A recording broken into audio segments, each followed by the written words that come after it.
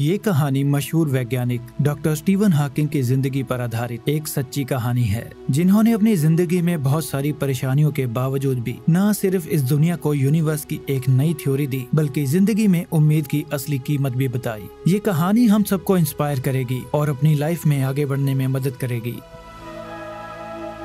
1963 की बात है। कैम्ब्रिज यूनिवर्सिटी इंग्लैंड में दो पीएचडी के स्टूडेंट्स स्टीवन हॉकिंग और ब्रायन साइकिल रेस करके सीधा स्टूडेंट पार्टी में पहुँचते हैं, जहाँ स्टीवन को एक लड़की नज़र आती है, जिसका नाम जेन वाइल्ड होता है, जो दिखने में बहुत खूबसूरत और अट्रैक्टिव लग रही थी। स्टीवन उसे मन ही मन पसंद करने लगा था। फिर वो एक दूसरे को अपनी इंट्रोडक्शन देते हैं। स्टीवन एक कॉस्मोलॉजिस्ट है, जो स्पेस और यूनिवर्स की पढ़ाई कर रहा है, जबकि जेन आर्ट्स की स्टूडेंट है, जिसे इंग्लिश लिटरेचर पढ़ना अच्छा लगता है। वो दोनों वहाँ ढेर सारी बातें करते हैं। जेन काफ़ी रिलीजियस थी, जिसे गोड पर भरोसा था, लेकिन स्टीवन गोड को नहीं मानता, क्योंकि उसे साइंस की थ्योरीज पर भरोसा था। जेन भी स्टीवन को लाइक करने लगी थी, और जाने से पहले वो उसे अपना फ़ोन नंबर भी देती है। अगले दिन फिजिक्स के प्रोफेसर डेनिस कैमा अपने स्टूडेंट्स को दस मुश्किल सवालों के जवाब ढूँढने के लिए कहते हैं, जो एक से बढ़कर एक मुश्किल सवाल थे, और ज़्यादा से ज़्यादा क्वेश्चन सॉल्व करके अपनी आंसर शीट अगले शुक्रवार तक सबमिट करने के लिए कहते हैं। इसके बाद स्टीवन एक बार में जेन को अपने दोस्तों के साथ देखता है। वो उसे संडे को गेम खेलने के लिए बुलाता है,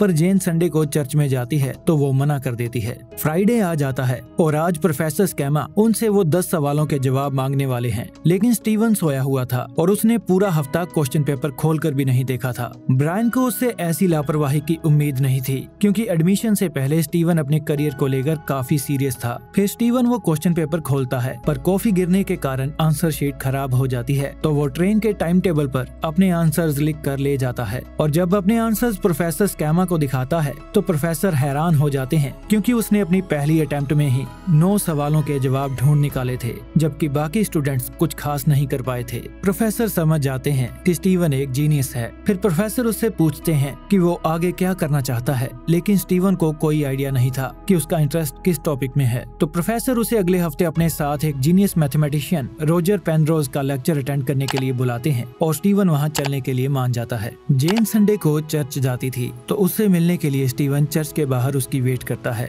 फिर वो उसे लंच के लिए अपने घर ले जाता है, जहाँ वो जेन को अपनी फैमिली से मिलाता है। स्टीवन की फैमिली को जेन बहुत अच्छी लगती है। वो बातों बातों में जेन को कैम्ब्रिज यूनिवर्सिटी की मे बॉल पार्टी में अपने साथ चलने के लिए पूछता है और जेन मान जाती है। मे बॉल पार्टी की रात वो दोनों तैयार होकर पार्टी में जाते हैं। पार्टी में वो दोनों ढेर सारी बातें करते हैं और खूब एंजॉय करते हैं। उन दोनों का रिश्ता खास बन चुका था क्योंकि उन्हें एक दूसरे से प्यार हो गया था। फिर अगले हफ़्ते स्टीवन प्रोफेसर के साथ लेक्चर के लिए निकलता है, लेकिन रास्ते में उसकी तबीयत कुछ बिगड़ने लगती है, पर वो उसे इग्नोर कर देता है। पेनरोज अपने लेक्चर में बताते हैं कि जब ब्रह्मांड में एक सितारा खत्म होता है तो धीरे धीरे वो छोटा होने लगता है। और एक समय ऐसा आता है, जब वो सितारा स्पेस में मौजूद दबाव की वजह से ब्लैक होल में कन्वर्ट हो जाता है और आखिर में स्पेस और टाइम दोनों रुक जाते हैं। उनकी बातों का स्टीवन पर गहरा असर पड़ता है, जो इसी थ्योरी के बारे में सोच रहा था। वो कहता है कि आइंस्टाइन ने जनरल रिलेटिविटी थ्योरी में कहा था कि ये ब्रह्मांड फैल रहा है और अगर हम टाइम को रिवाइंड करें तो ब्रह्मांड छोटा होने लगेगा और एक ब्लैक होल में कन्वर्ट हो जाएगा। इसका मतलब कि ये ब्रह्मांड ब्लैक होल के फटने से पैदा हुआ है,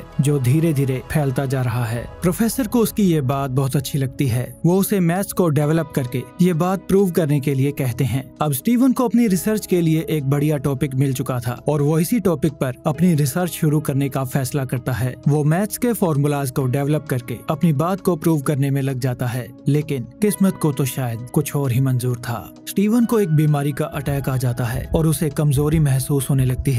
वो अपने घर जाने लगता है, लेकिन रास्ते में वो बेहोश होकर गिर जाता है। फिर हॉस्पिटल में डॉक्टर उसका चेकअप करता है और बाद में बताता है कि उसे मोटर न्यूरोन डिसीज नाम की बीमारी है, जिसकी वजह से उसका दिमाग, बॉडी के मसल्स को कंट्रोल नहीं कर पा रहा है और उसके मसल्स धीरे धीरे खत्म होते जा रहे हैं। इस बीमारी की वजह से वो अपने काम ठीक से कर नहीं पाएगा, जैसे कि चलना, बोलना, खाना खाना और सांस लेना भी। पर इस बीमारी का उसके दिमाग पर कोई असर नहीं पड़ेगा, यानी कि उसका दिमाग वैसे ही सोच सकता है जैसा कि वो अब सोच रहा है, लेकिन वो बोलकर अपनी बात किसी से कह नहीं पाएगा। वो कहता है कि धीरे धीरे तुम कमज़ोर, बहुत ज़्यादा कमज़ोर हो जाओगे, और अब तुम्हारे पास सिर्फ़ दो साल ही बचे हैं। अपनी बीमारी का पता चलने के बाद स्टीवन सबसे अलग रहने लगा था। तो ब्रायन उससे मिलने आता है, और स्टीवन उसे अपनी बीमारी के बारे में सब बता देता है, जिससे ब्रायन दुखी हो जाता है। स्टीवन जेन से भी नहीं मिल रहा था, और न ही वो जेन का फ़ोन उठा रहा था तो जेन थोड़ा परेशान हो जाती है। फिर ब्रायन जेन को स्टीवन की बीमारी के बारे में सब बता देता है। जब जेन उसके कमरे में जाती है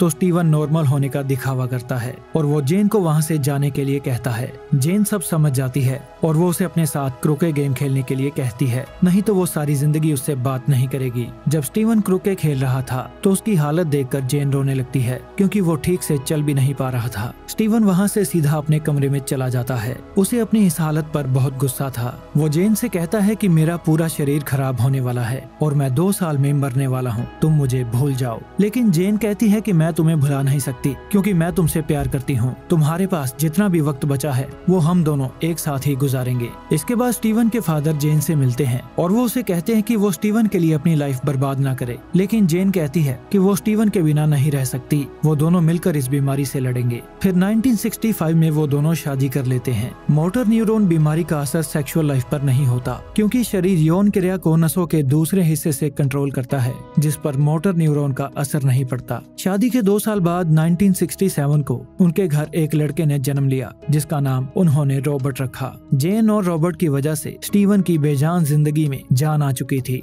धीरे धीरे वो कमज़ोर होता जा रहा था, लेकिन उसने अपनी रिसर्च को जारी रखा। वो टाइम और ब्लैक होल पर अपनी रिसर्च के थीसिस प्रोफेसर को दिखाता है, और उन्हें उसकी वो थ्योरी बहुत अच्छी लगती है। अपनी थ्योरी के बेसिस पर वो न सिर्फ़ अपनी पीएचडी कंप्लीट कर लेता है, बल्कि प्रोफेसर उसे डॉक्टरेट की डिग्री भी देते हैं। स्टीवन कहता है की मैं अपनी थ्योरी को एक इक्वेशन की मदद ऐसी साबित करूँगा, जो स्पेस टाइम सिंगुलरिटी को साबित कर सके, की समय की भी एक शुरुआत थी। डॉक्टरेट की डिग्री मिलने की खुशी में उनके सभी दोस्त डॉक्टर स्टीवन के घर डिनर पर आते हैं। लेकिन डॉक्टर स्टीवन बीमारी की वजह से काफ़ी कमज़ोर हो चुके थे। वो ठीक से अपना खाना भी नहीं खा पा रहे थे। एक नॉर्मल सा टास्क उनके लिए एक चैलेंज बन चुका था, जिसकी वजह से उनका कॉन्फिडेंस लो हो जाता है और वो बिना अपना खाना खाए वहाँ से उठकर चले जाते हैं। वो इतने कमज़ोर हो चुके थे कि वो सीढ़ियाँ भी नहीं चढ़ पा रहे थे। डॉक्टर स्टीवन की हालत का जेन को अच्छी तरह से पता था, इसीलिए वो उनके लिए व्हील चेयर लेकर आती है। पहले तो डॉक्टर स्टीवन व्हील चेयर देख सोच में पड़ जाते हैं, लेकिन बाद में वो उस पर बैठ जाते हैं, क्योंकि अब उनके पास कोई और रास्ता नहीं था।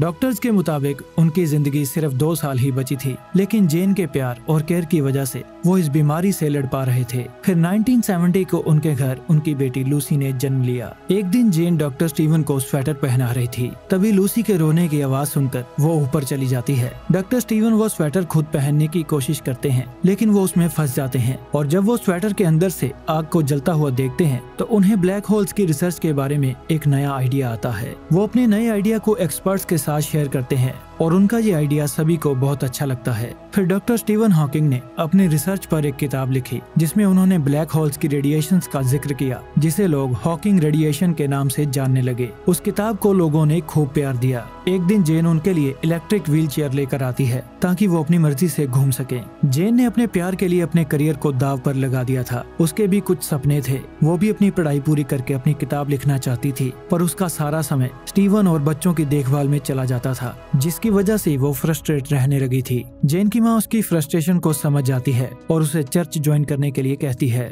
फिर चर्च में जेन की मुलाकात म्यूज़िक टीचर जोनाथन के साथ होती है। जेन अपने बेटे रॉबर्ट को पियानो सिखाने के लिए जोनाथन को अपने घर बुला लेती है। फिर डिनर के टाइम डॉक्टर स्टीवन बताते हैं कि वो अपने नए प्रोजेक्ट पर काम कर रहे हैं, जो उनकी नई थ्योरी पर बेस्ड है। जोनाथन भी अपने बारे में बताता है कि उसकी पत्नी एक साल पहले मर चुकी है और अब वो बिल्कुल अकेला है। जाने से पहले जोनाथन उनसे कहता है कि अगर वो उनके किसी काम आ सके तो उसे बहुत खुशी होगी, क्योंकि उसकी भी कोई फैमिली नहीं है। उस रात डॉक्टर स्टीवन जेन से कहते हैं कि मैं समझ सकता हूँ कि तुम्हें मदद की ज़रूरत है। तुम जोनाथन से किसी भी तरह की मदद ले सकती हो, क्योंकि जेन डॉक्टर स्टीवन के लिए अपनी लाइफ को सेक्रीफाइस कर रही थी, और डॉक्टर स्टीवन एक नॉर्मल इंसान की तरह, जेन की सभी जरूरतों को पूरा नहीं कर पा रहे थे। डॉक्टर स्टीवन सेल्फिश नहीं थे, जो सिर्फ़ अपने बारे में सोचते, इसीलिए उन्होंने जेन को जोनाथन से मदद मांगने के लिए कहा था। जोनाथन उनकी फैमिली की मदद के लिए आ जाता है। वो स्टीवन और जेन दोनों का ध्यान रखने लगा था। वो घर के हर छोटे बड़े काम में उनकी मदद करने लगा था और उनके परिवार का हिस्सा बन चुका था। फिर 1979 को उनके तीसरे बच्चे का जन्म होता है और उसकी सेलिब्रेशन पार्टी में डॉक्टर स्टीवन की माँ जेन से तीसरे बच्चे के बाप के बारे में पूछती है, क्योंकि उन्हें लगता है कि वो बच्चा स्टीवन का नहीं, बल्कि जोनाथन का है। लेकिन जेन उनसे साफ़ साफ़ कह देती है कि ये बच्चा स्टीवन का है। ये बात जोनाथन सुन लेता है और वो वहाँ से चला जाता है। जेन उसे रोकने की कोशिश करती है, लेकिन जोनाथन जेन से कहता है कि उसका यहाँ से चले जाना ही ठीक रहेगा, क्योंकि वो उसे चाहने लगा है। जेन भी एडमिट करती है कि वो भी उसे चाहती है। इतना सुनने के बाद जोनाथन वहाँ से चला जाता है, क्योंकि वो जेन को किसी नई मुसीबत में नहीं फंसाना चाहता था। फिर एक ओपेरा प्रोग्राम में डॉक्टर स्टीवन को इनवाइट किया जाता है, जो उनके घर से काफ़ी दूर था। लेकिन जेन इतनी दूर जाने से मना कर देती है तो डॉक्टर स्टीवन जोनाथन से मदद मांगने के लिए चर्च चले जाते हैं, और जोनाथन उनकी हेल्प करने के लिए मान जाता है। फिर डॉक्टर स्टीवन अपनी फ़्लाइट से वहाँ चले जाते हैं, और जेन जोनाथन के साथ गाड़ी में वहाँ चली जाती है। इस दौरान जेन और जोनाथन का रिश्ता और भी गहरा होने लगा था। प्रोग्राम के दौरान डॉक्टर स्टीवन की तबीयत बहुत खराब हो जाती है। फिर हॉस्पिटल में डॉक्टर जेन को बताता है कि निमोनिया होने की वजह से डॉक्टर स्टीवन की कंडीशन सीरियस हो चुकी है और पता नहीं वो कब तक जिएँगे। उनके गले के मसल्स बहुत कमज़ोर हो चुके हैं और उन्हें बचाने के लिए उनके गले को बाईपास करना होगा, पर ऑपरेशन के बाद वो कुछ भी बोल नहीं पाएँगे। जेन ऑपरेशन के लिए मान जाती है, क्योंकि वो किसी भी कीमत पर डॉक्टर स्टीवन को ज़िंदा देखना चाहती थी। फिर सर्जन डॉक्टर स्टीवन का ऑपरेशन करके उनके गले में पाइप लगा देते हैं, जिससे उन्हें खाना खिलाया जा सके, लेकिन डॉक्टर स्टीवन कुछ भी बोल नहीं सकते थे। तो जेन एक स्पेलिंग बोर्ड लेकर आती है, ताकि डॉक्टर स्टीवन अपनी बात उसे समझा सके। डॉक्टर स्टीवन उसे कुछ कहने की कोशिश करते हैं, लेकिन जेन कुछ भी समझ नहीं पाती, और उन दोनों का हौसला जवाब देने लगता है। तो जेन एक नर्स एलिन को लेकर आती है, जो इस काम में एक्सपर्ट थी। एलिन के आने के बाद डॉक्टर स्टीवन में नई जान आ गई थी। वो उसे अपनी बात समझाने में कामयाब हो जाते हैं। एलिन भी उनसे मिलकर काफ़ी एक्साइटेड थी, क्योंकि उसने आज से पहले इतना इंटेलिजेंट आदमी नहीं देखा। था। फिर वो डॉक्टर स्टीवन के लिए एक नया कंप्यूटर तैयार करवाते हैं। जिसकी मदद से वो स्क्रीन में टाइप कर सकेंगे, जो कंप्यूटर अपनी आवाज़ में बोलकर सबको बताएगा। मतलब text to speech doctor Steven के लिए वो मशीन काफ़ी मददगार साबित होती है। वो अपनी बात सबको समझा पा रहे थे। फिर वो जेन से कहते हैं कि वो टाइम के टॉपिक पर अपनी नई किताब लिखना चाहते हैं और वो अपनी नई किताब पर काम करना शुरू कर देते हैं। इस दौरान उनकी नर्स एलिन के साथ उनका रिश्ता और मज़बूत होने लगता है, जो उनकी हर छोटी बड़ी ज़रूरत का ख्याल रखने लगी थी। फिर एक दिन डॉक्टर स्टीवन जेन से कहते हैं कि उन्हें अमेरिका एक अवार्ड फ़ंक्शन में बुलाया गया है और वो अपने साथ एलिन को लेकर जाना चाहते हैं। जेन ये सुनकर काफ़ी उदास हो जाती है, क्योंकि अब डॉक्टर स्टीवन एलिन को लाइक करने लगे थे। जेन कहती है कि डॉक्टर्स ने कहा था कि तुम सिर्फ़ दो साल ही ज़िंदा रहोगे, लेकिन तुम्हारी उम्र काफ़ी लंबी है। मैंने तुमसे प्यार किया और तुम्हारे लिए अपनी जान लगा दी। लेकिन वो दोनों कहीं ना कहीं ये जानते थे कि अब उनके रास्ते अलग होने वाले हैं। इसमें किसी की कोई गलती नहीं थी, बस वक्त को यही मंजूर था और वक्त के आगे उन्हें झुकना पड़ता है। फिर जेन और डॉक्टर स्टीवन दोनों अलग रहने लगे थे। इसके बाद जेन चर्च जाकर जोनाथन से मिलती है और उसके साथ रहने लगती है। डॉक्टर स्टीवन ने अपनी किताब a brief history of time publish कर दी थी, जो साइंस की बेस्ट सेलर बुक बनी और आगे चलकर इस किताब ने वर्ल्ड रिकॉर्ड भी बनाया। इस किताब की वजह से डॉक्टर स्टीवन हॉकिंग की बिग बैंग थ्योरी और ब्लैक होल थ्योरी सारी दुनिया में मशहूर हो गई थी। अपनी बुक की सक्सेस के बाद वो एक मीटिंग हॉल में पहुँचते हैं। जहाँ प्रोफेसर डेनिस कैमा उनका स्वागत करते हैं। वो अपने लेक्चर में कहते हैं कि हमारे यूनिवर्स में मिलियन बिलियन स्टार्स और प्लैनेट्स हैं। हमारा यूनिवर्स इतना बड़ा है कि इसकी कोई सीमा नहीं है। और इस यूनिवर्स के छोटे से प्लैनेट अर्थ पर मौजूद इंसान की कोशिशों की भी कोई सीमा नहीं है। हमारी ज़िंदगी में चाहे जितने मर्ज़ी दुख और परेशानियाँ आ जाएँ, पर किसी न किसी दिशा में, कोई ना कोई काम में हमें कामयाबी ज़रूर मिलेगी। बस हमें उम्मीद नहीं छोड़नी चाहिए। उनकी ये स्पीच सबको इंस्पायर करती है। फिर लंदन में क्वीन एलिजाबेथ टू उनकी अचीवमेंट्स के लिए, उन्हें कंपेनियन ऑफ़ ऑनर के अवार्ड के लिए इनवाइट करती है। वहाँ डॉक्टर स्टीवन अपने साथ जेन और अपने बच्चों को भी ले जाते हैं, क्योंकि जेन भी उनकी अचीवमेंट्स का हिस्सा थी और उसके बिना कुछ भी अचीव करना बहुत मुश्किल था। जेन डॉक्टर स्टीवन को अपने साथ रॉयल पैलेस ले आने के लिए थैंक्स कहती है, क्योंकि ये कोई छोटी बात नहीं थी। फिर पैलेस के गार्डन में डॉक्टर स्टीवन जेन से कहते हैं कि देखो, हमने क्या बनाया। उनके सामने उनके तीनों बच्चे थे, जो डॉक्टर स्टीवन और जेन के प्यार की निशानी थे। भले ही वक्त ने उन्हें अलग कर दिया था, लेकिन वो आज भी एक दूसरे के शुक्रगुजार थे और एक दूसरे के अच्छे दोस्त थे। फिर कहानी के अंत में हमें बताया जाता है, उनकी एक किताब, जिसका नाम a brief history of time था।